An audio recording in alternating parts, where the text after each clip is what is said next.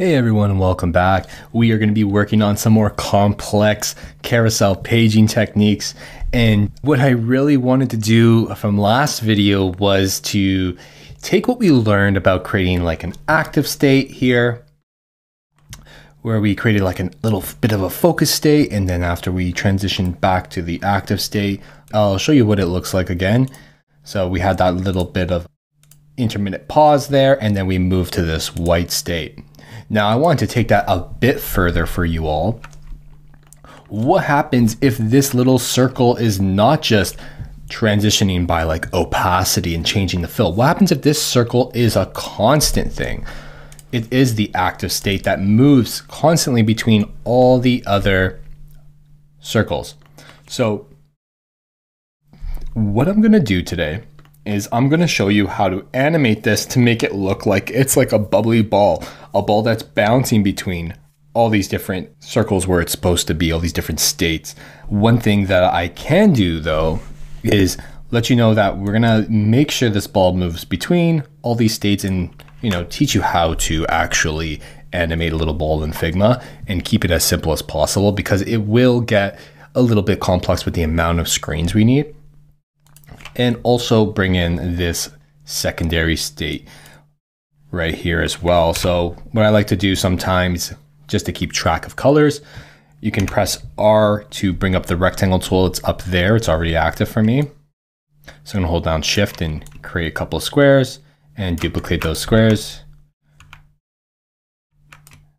So I command C, command V, and then do that again. Okay, so we have our three squares and then I'm gonna press I to get all the colors I need from these squares. So just in case I need to reference them instead of just going back to the individual layers. Now, one thing I wanna do is, you know, we're gonna keep this really simple again. Let's just do two because it will get complex pretty quickly.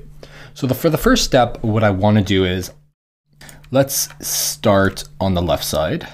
Seems just much more natural to start with number one. And we are gonna create a duplicate over here. Perfect. That's fine. And I want you all to try and do this as I am doing it as well, just to get into the habit of creating more screens and the habit of animating all these different little elements it could really help you and just doing it more and more is going to speed up your workflow. So let's think about all these different steps it's going to take to get from here to here. And when I think about it, I want to also think about what I envision with a ball that is being animated or thrown from one side to the other. Because I want this ball to go boom, boom, back and forth when I click. I don't want it to just slide because I'll do that right now. Let's actually show you what it looks like if we just create that little animation. So if I click on this second button, I'm going to have to make this one the state in between. And then if I create another screen, I'm going to just drag that over like that. This can go back to the normal color. So, and we can just drag that over. So that is pretty simple and I'll show you what that's going to look like. So I'm going to go and bring that one over. Let's do 150 milliseconds.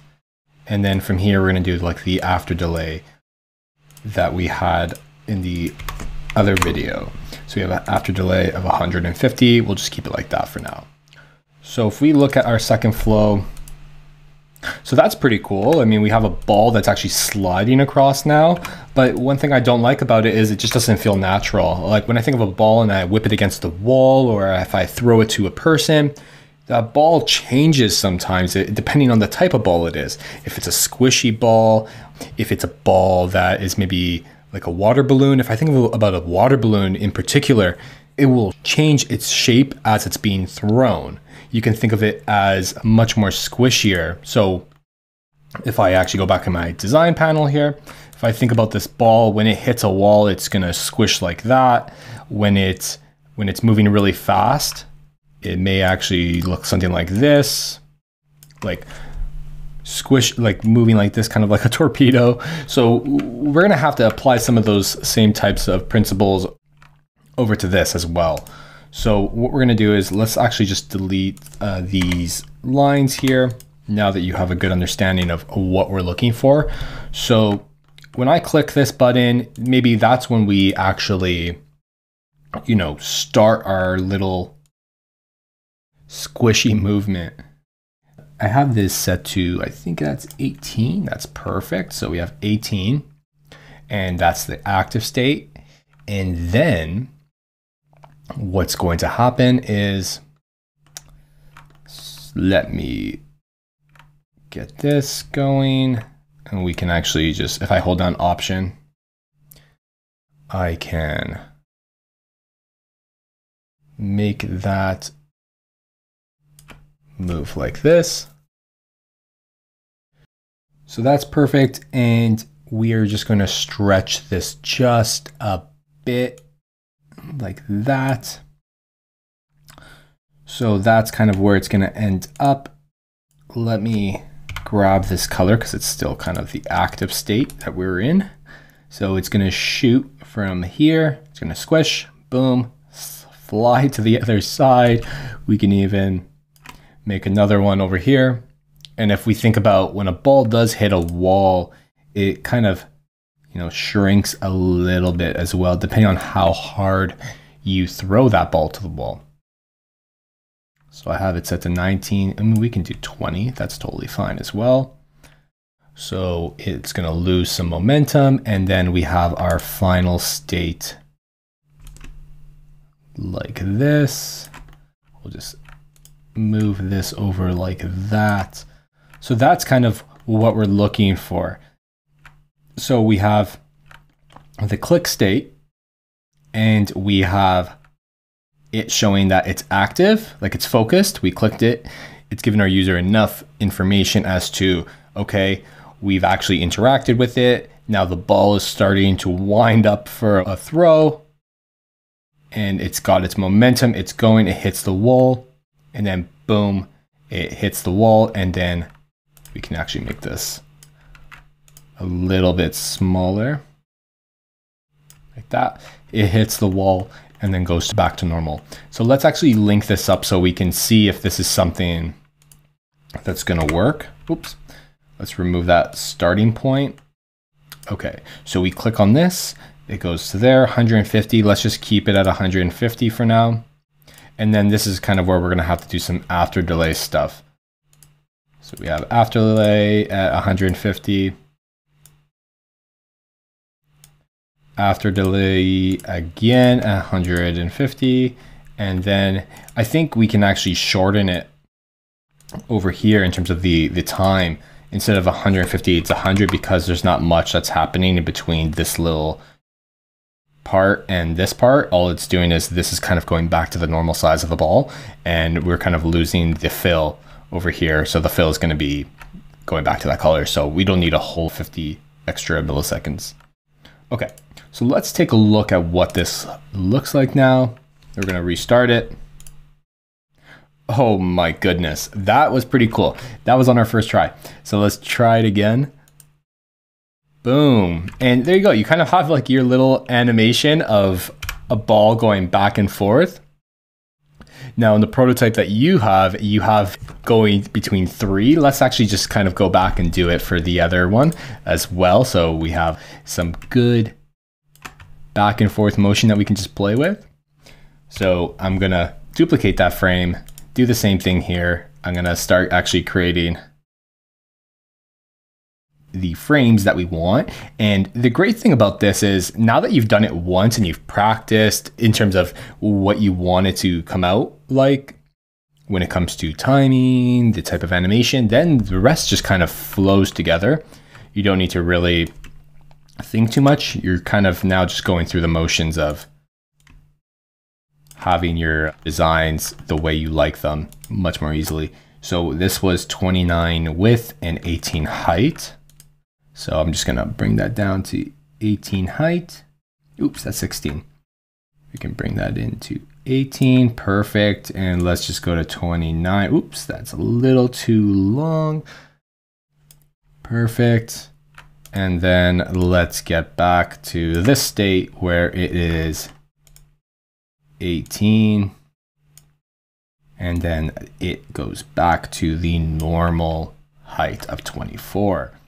Okay, and now we can just kind of link these together as well. So if I click this one, that's gonna go there. So remember, it's gonna just automatically take the previous animation and put it there. So I had 100 set because that was the last one I did. So just remember to change that. After delay, boom, one millisecond after delay. And again, and that's perfect. And then the last one is going to be 100 milliseconds. Just remember that. I always find it's incredibly helpful to have a sheet of paper beside me while I'm doing much more complex things, which we'll get into as well. But having a sheet of paper beside you really helps you mark down or at least list what you're doing when it comes to animations. You can even write it over here, kind of like how I have this little cheat sheet of colors if I don't want to turn them into like styles to reuse. But that I find helps so much for keeping myself sane when I'm trying to keep track of different types of timings. Okay, let's take a look at what we have. Oh goodness, that is beautiful.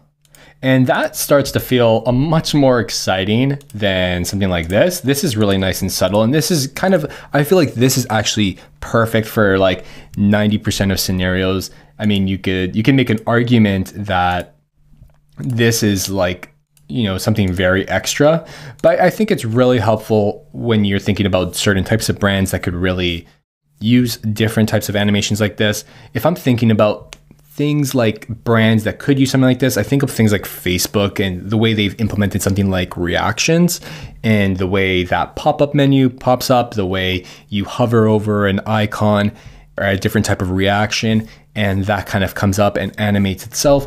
So Definitely, there is usefulness when it comes to animating little things like we did with navigations previously, but this is super cool to be done in Figma, and it really didn't take us long to kind of get used to how to do it. And there is your ball going back and forth, and it adds a little bit of polish, a little bit of excitement, and something that you can definitely apply to a lot of different designs when it comes to paging and carousels or even other elements you could probably think about like buttons and forms.